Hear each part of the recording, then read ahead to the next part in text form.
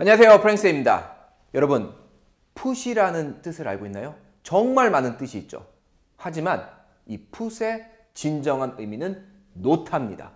이 뜻 하나만 알면은 정말 많은 표현을 할 수가 있어요. 제가 여러분께 풋을 사용해서 어떻게 영어를 표현할 수 있는지 알려드리도록 하겠습니다. 자 일단은 첫 번째 보시도록 할게요. put my phone이라는 표현이 있어요. 일단 제가 그랬죠. put은 놓다라는 게 가장 기본적인 의미입니다. 이렇게 놓는 거예요.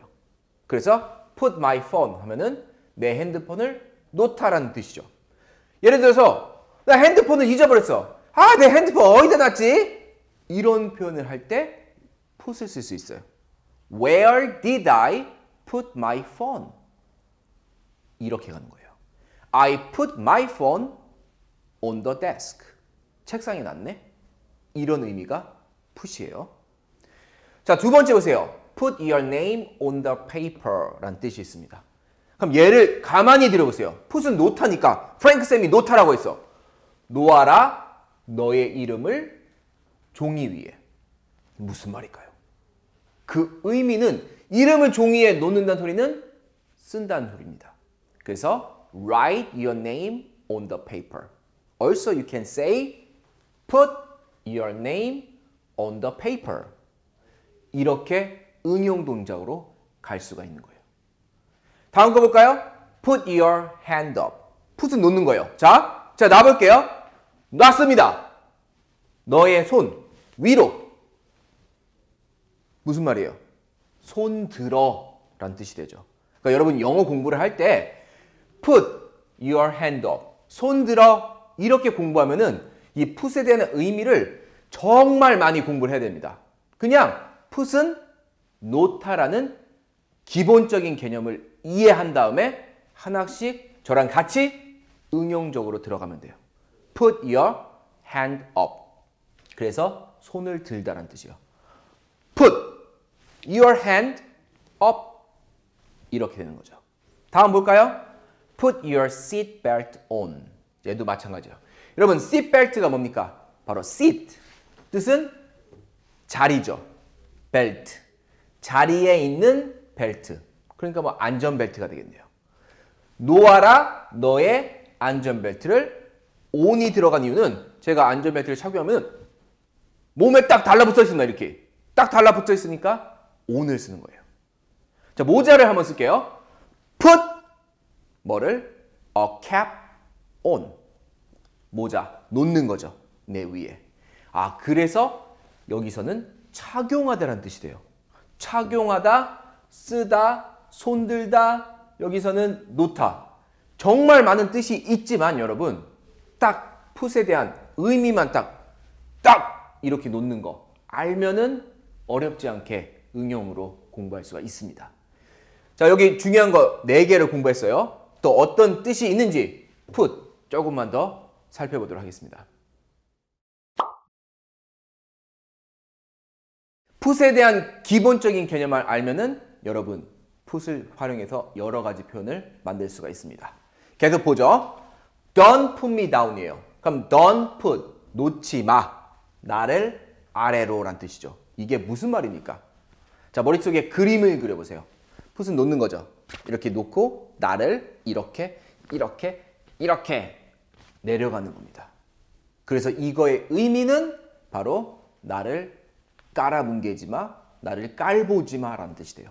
그래서 풋을 깔보다, 풋 깔보다 이렇게 외우면은 영어가 한도 끝도 없이 어려워집니다. 그냥 아 이래서 풋미다운이 깔보다라는 뜻이 되는구나 라고 기본적인 풋, 놓다 이것만 알면 쉽게 접근할 수 있어요. 그러니까 이렇게 쓰는 거죠.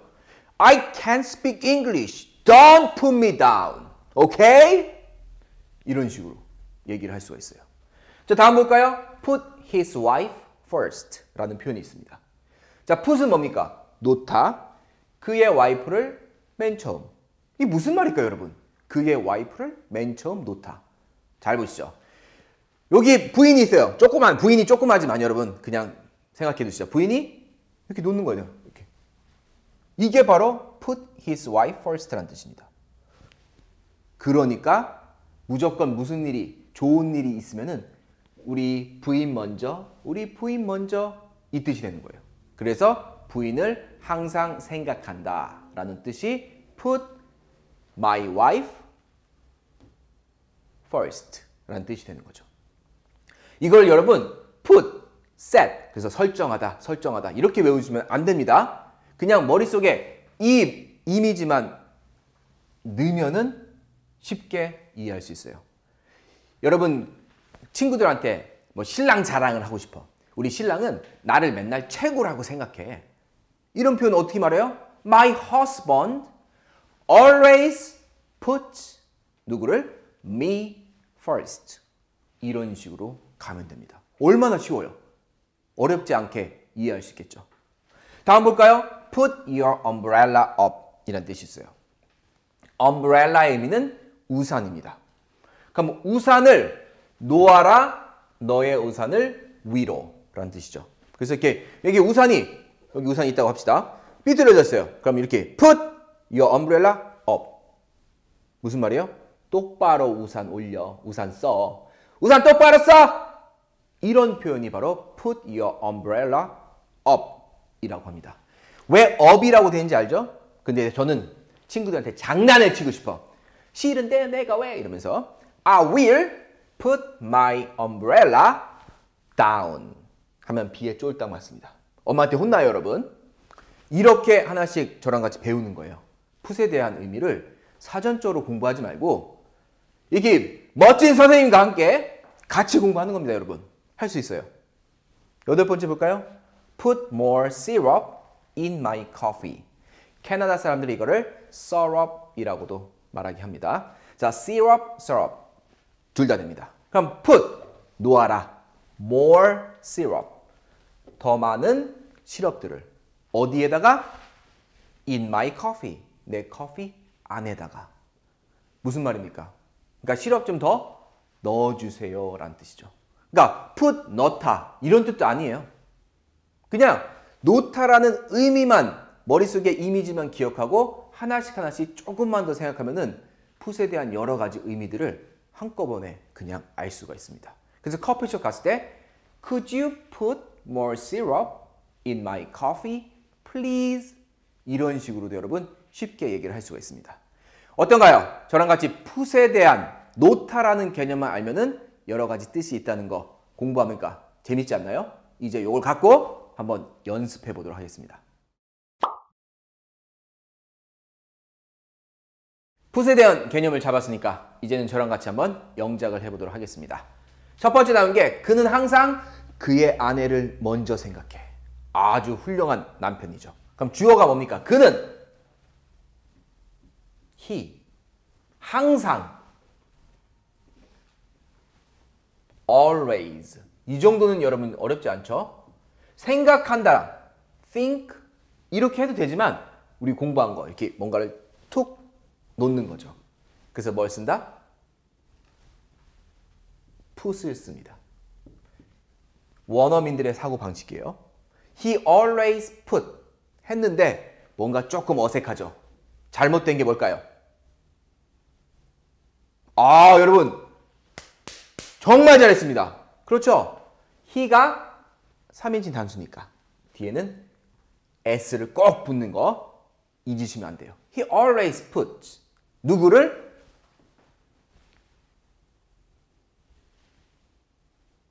그렇죠? his wife. 맨 처음. first. 이런 식으로도 쓸 수가 있겠죠. He always think, thinks about his wife first. 물론 이렇게 쓸 수도 있어요. 하지만 he always puts his wife first. 이런 식으로도 많이 씁니다. 이게 바로 원어민들이 이런 표현을 바꿀 때 이 put을 쓴다는 거. 조금만 생각해 보면은 여러분 쉽게 이해할 수 있는 거예요. 우리는 항상 고객의 입장에서 고객을 먼저 생각합니다. We always put our customers first. 이런 식으로 비즈니스 영어 할 때도 쓸 수가 있는 표현이 돼요. 다음 가볼게요. 너의 자석 배트를 매주세요. 그러면은 자석 벨트를 맨다. 어, 매다. 어, 매. 어, 매는 이글. 이건데 이렇게 하지 마시고 생각해 보세요. 이렇게 쭉 하는 거죠. 그러니까 푸시라는 동사를 쓸 수 있죠. 그래서 동사는 put 너의 자석 벨트. 자석은 이거 뭐 자동차 시트 요거랑 비슷하죠. 너의 자석 벨트.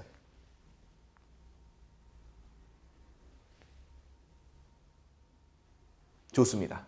Your seat belt. 이렇게 쓰면 됩니다. 근데 여러분 잘 생각해 보세요. Put your seat belt 하면은 놓아라 너의 자석 벨트를. 그래 자석 벨트를 이렇게 놓는 거예요, 그냥. 근데 우리는 매야 되잖아요.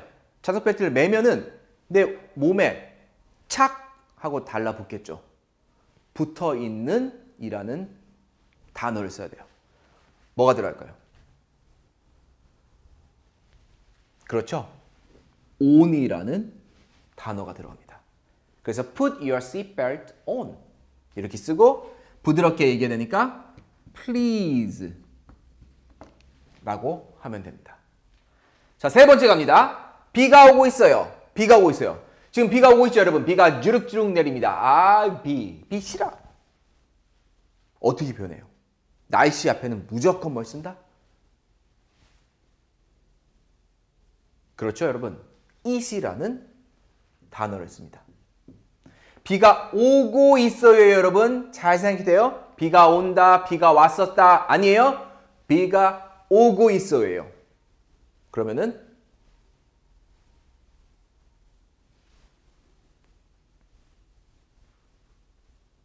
좋아요, 여러분. 제가 항상 이렇게만 하고 있으니까 나는 아무것도 안 했는데 왜 선생님 이거 하고 있지? 하라는 뜻입니다, 여러분. 열심히 따라 해야 돼요. It rain. 비 오다. 근데 오고 있는 거니까 ing를 붙여야 되겠죠. 좋아요. 근데 얘는 동사예요, 동사가 아니에요. 동사 뒤에 ing가 들어왔으니까 동사가 아니네. 쓸 동사가 없어. 뭘 씁니까, 여러분? 그렇죠? 비동사입니다. 비가 오니까 비동사인가? 어쨌든 그래서 얘를 주어가 하나니까 is라는 동사를 써서 it is raining 이라고 하죠. 당신의 우산을 드세요. 우산을 들다. 어, 들다 뭐지? 아, 들다. 기억을 해야 됩니다, 여러분. 우산을 이렇게 하라는 소리죠. 아, 그러니까 노타라는 put. 얘를 쓰고 당신의 우산, 너의 우산. Your umbrella. 집어서 이렇게 올리는 겁니다. 어떤 단어를 써야 될까요? up이라는 단어를 쓰면 되죠. 그래서 put your umbrella up 이라고 얘기해 주세요. 우리 한번 새로 연습 갑니다, 여러분. 한번 볼게요. 자석 배트를 매주세요. 시작.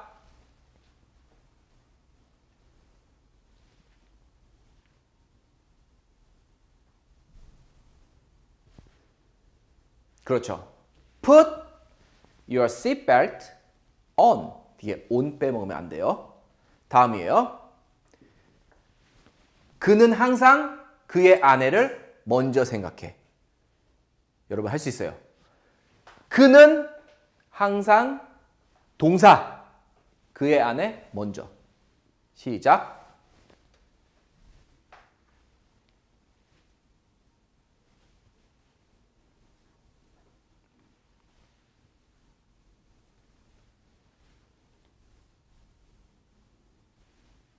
잘했습니다.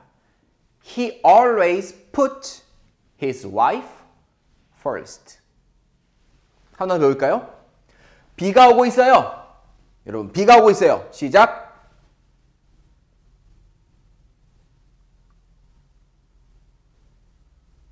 날씨 앞에는 무조건 is입니다. It is raining. 우산을 드세요.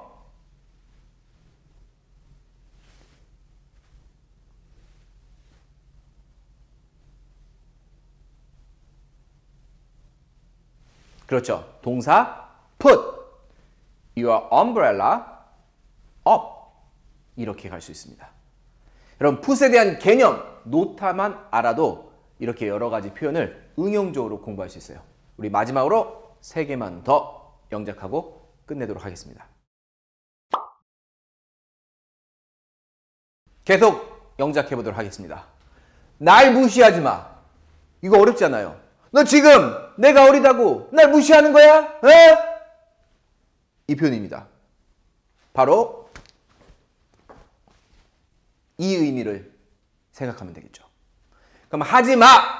뭐였습니까? 그렇죠? 여기 돈이 보이죠?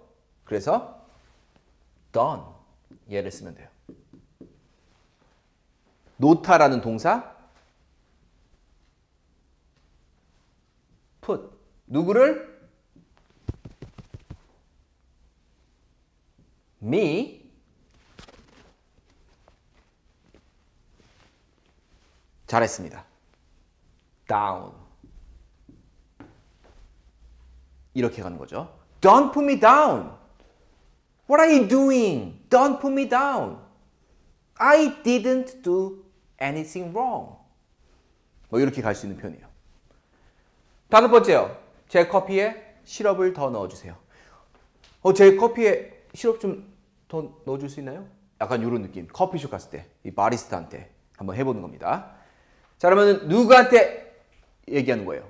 내가 넣는 거예요? 이 사람한테 넣어달라고 부탁하는 거예요? 이 사람한테 넣어달라고 부탁하는 겁니다. 그러니까 부탁할 때 정중앙 표현. 제가 정중앙에 있죠? 정중앙 표현 뭘 쓴다? 아, 이거 다 까먹었습니다, 이제. can을 쓸 수 있는데 can보다 좀 더 정중하게 하고 싶다면 could를 써라. 제가 얘기했죠. 부탁할 때는 could. 그렇죠? could. 누구한테? you. 넣다라는 동사. put. 더 많은 시럽.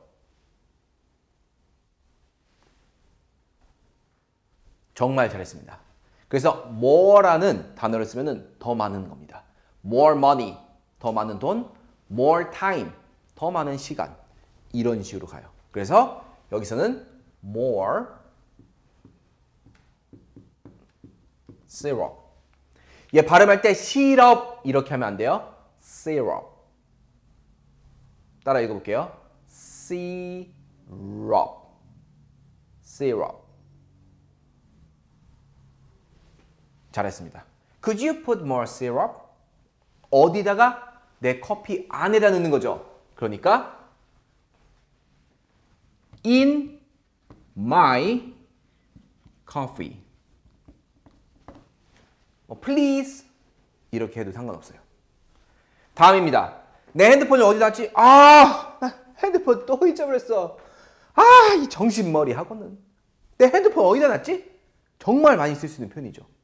그러면 여기서 가장 먼저 나오는 게 뭐예요? 어디, 언제, 어디서, 누가, 어떻게, 무엇을, 왜. 얘가 무조건 문장의 맨 앞에 옵니다. 그래서 어디는 영어로 where이 되죠. 누가 핸드폰을 놓은 겁니까? 내가 놓은 거죠, 내가. 근데 과거가 있어요, 과거. 쌍시옷. 그러니까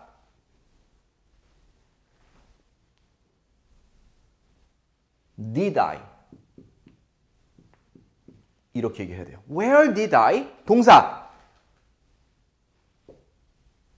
put 내 핸드폰 my phone 이렇게 갈 수 있습니다. 어, 내 핸드폰 어디다 놨지? 여러분 시작.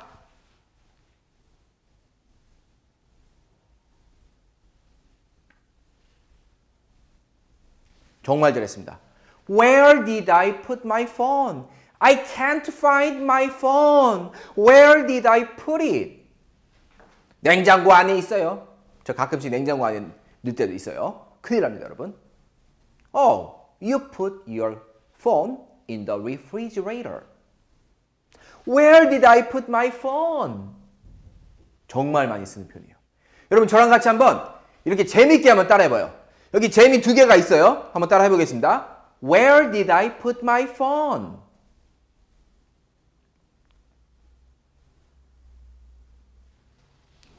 좋습니다. 제 커피에 시럽을 더 넣어줄 수 있나요? 시작.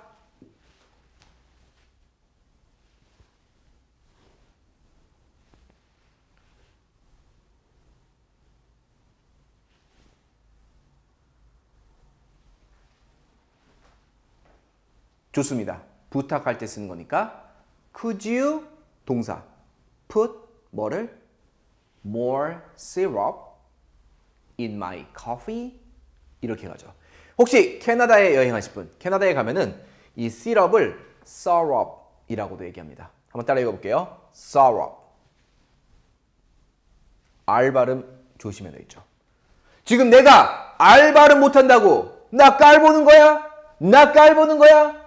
깔보지 마. 시작.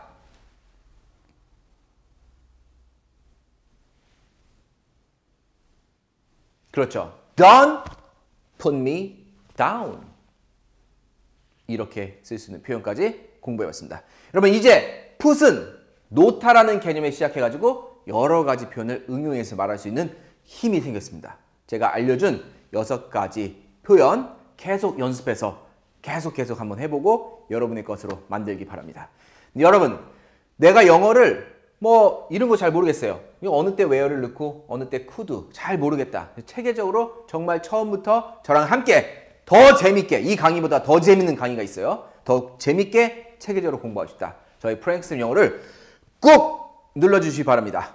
오늘 영상은 여기까지입니다. 또 저는 다음 강의에서 찾아뵙도록 하겠습니다. 지금까지 강사의 프랭크 쌤이었습니다. 감사합니다.